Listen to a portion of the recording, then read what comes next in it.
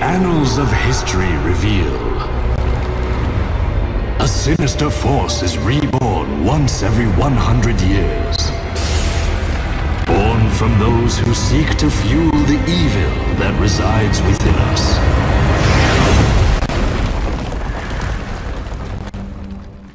It's September 2021, and I can't believe I'm going to get a chance to talk about Castlevania. I'm one of those folks who played the original game way back in 1996 on the NES and just fell in love with it. Ever since, I've played every game in the series, every chance I've had. The last official Castlevania game to be released was Castlevania Lords of Shadow 2 back in 2014, which is really sad when you think about it. It's already been seven years since a new Castlevania game's been released. And sure, we've had the Anniversary Collection, but we haven't had a new entry in the series in ages. Well, enter Castlevania Grimoire of Souls, which was originally released in very limited regions back in 2019 interestingly enough, Canada being one of those regions. So I have played this before. And I think it lasted around a year or so before it was delisted and all of us thought it was gone for good. As a gacha game, meaning a game that incentivizes players to use real world money in order to purchase some in-game goodies, usually random items, Grimoire of Souls was actually not too bad. When I first played it, I was surprised by just how much you could actually do without ever having to spend a dime on the game. And I actually think that probably is why it got delisted so quickly, is I just think everyone realized the same thing, that you could play the bulk of the game without having to spend a cent on it. So Konami left the video game industry a couple of years ago now. It feels like it's been 20 years, but it's been a few years now that they really started to transition to pachinko machines, sort of like what the old SNK did. And I like to joke to people, I'm like, the minute Konami left the video game industry to focus on pachinko machines, it seems like that was the time SNK came back into the video game industry. It's almost like these two companies can't coexist in the gaming industry. It's really, really weird. Anyway, here we are in September 2021, and Castlevania Grimoire of Souls has been resurrected for the Apple Arcade subscription service. At first glance, it would appear the game is identical to the original 2019 release, but that's actually not accurate. Some work actually went into this game to rebalance it and change a few things here and there, since Apple Arcade doesn't allow for gacha games. In other words, you can't use real world money to purchase additional items for any of the games in the Apple Arcade service. The idea is that you pay the monthly subscription and then you get access to these full games. Grimoire of Souls takes place after the events of Castlevania Dawn of Sorrow on the Nintendo DS. Genya Arikado, who was introduced in that game, and who is actually Alucard in disguise, receives a letter in the mail many years after the events of Dawn of Sorrow. The letter begged for Arikado's help as darkness has once again started to spread across the land. Arikado knew that Castlevania, the cursed castle of Dracula, was still sealed away, so what could be the meaning of this, this weird darkness that's suddenly coming back? His gut tells him something's going on, and I gotta look into this. And that's pretty much how the game begins. When Arikado finds the person who sent the letter, Lucy's her name, he realizes what's going on. Essentially, a series of magic books are all exhibiting this weird dark energy. And only Arikado can venture into the books and rewrite past histories gone array. And this is how previous heroes such as Simon Belmont join the fray, as Arikado will need all the help he can get if he's going to put everything back to normal.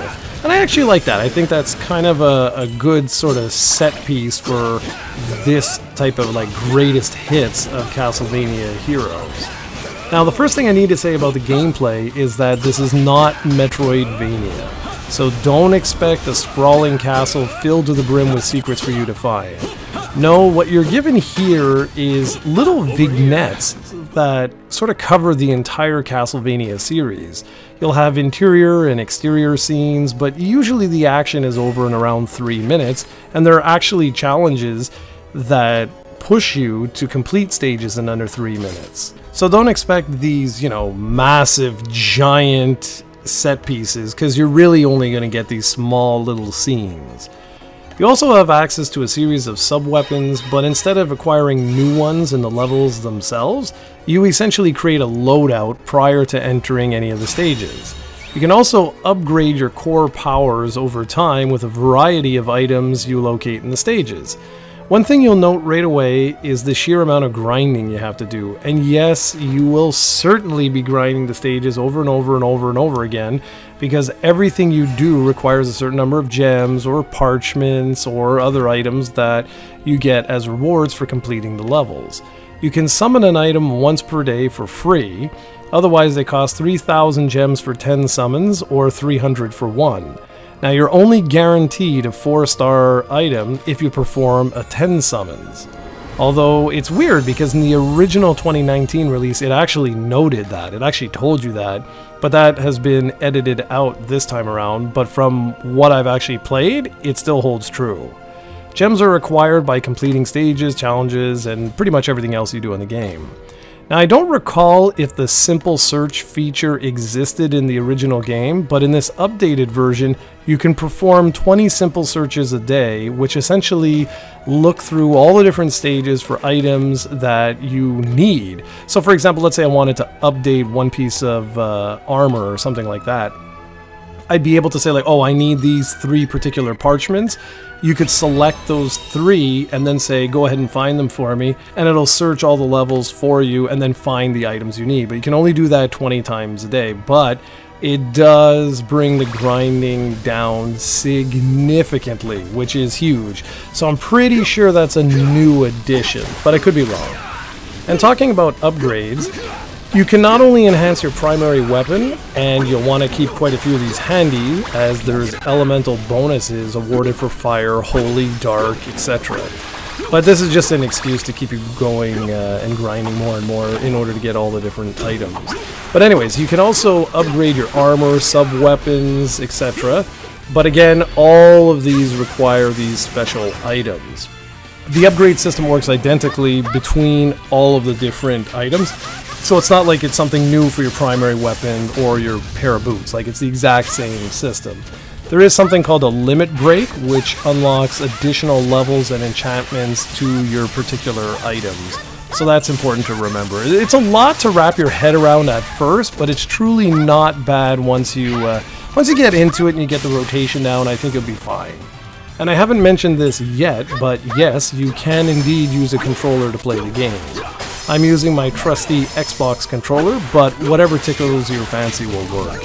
You can't use the D-pad unfortunately, so you gotta use the analog stick, but it's certainly more enjoyable than using the touch controls, or at least it is in my case. I, am not a big fan of touch controls.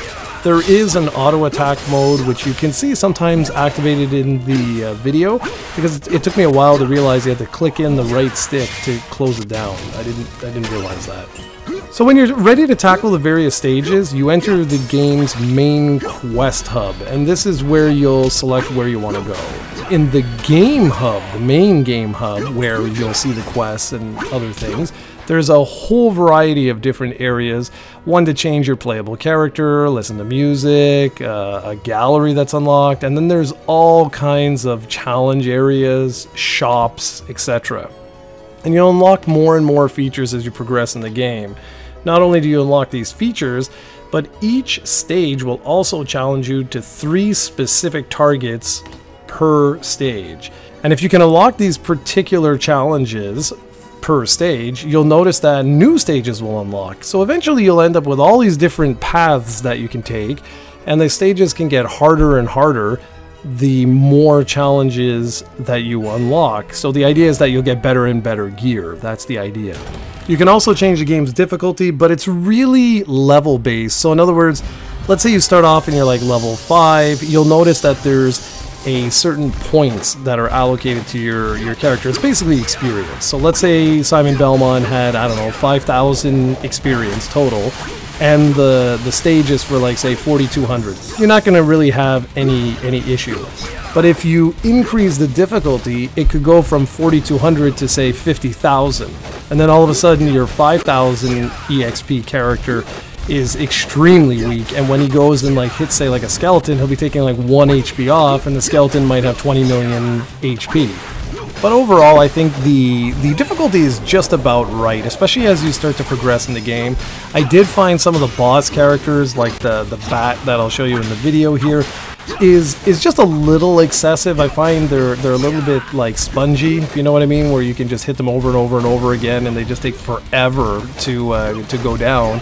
But overall, I, I didn't find the game like hard per se. Especially, it's really hard because you can't, you know you just get into the the gist of the game and then all of a sudden it's it's done because the stages are so small only a couple of minutes to complete them that I found myself sort of like cooling off before I would jump back into the next level which was a little unfortunate but in the end listen guys this is a Castlevania game. It's yes, a little bit different than you know you were probably hoping, but it is a Castlevania game. And you know the saying, beggars can't be choosers. Well, that's us right now. We're begging Konami to release a new Castlevania game. I know a lot of you would like one in the vein of Symphony of the Night, or maybe as uh, as as a game similar to Rondo of Blood. But it's 2021. We have a new Castlevania game. It might not be exactly what everyone wants, but it exists. And I know, I know that seems kind of ridiculous that like I'm basically praising it because it exists, but it does. And and I am. It's great to hear, you know, Bloody Tears, Simon's theme, and all the other music. Like, it, it, it's Castlevania, right? I mean, take a look at this. The graphics look nice too. It runs fairly well. It's it's Castlevania. It's just it's Castlevania on a mobile subscription service, and it plays like a mobile game. So it's not exactly what the hardcore fans, especially on this channel, are hoping for. But listen, again, it exists. It's a new Castlevania. Well, it's a reworked version of the 2019 Castlevania game on mobile. And I'm really hoping that it does well enough so that Konami can once again take the series a little bit seriously. I doubt it very much, but you know what? I'm hoping. And that's why I played this, that's why I reviewed it, because I absolutely love Castlevania as a series. And I want more games, Konami. So please come back to the video game industry. We really miss you.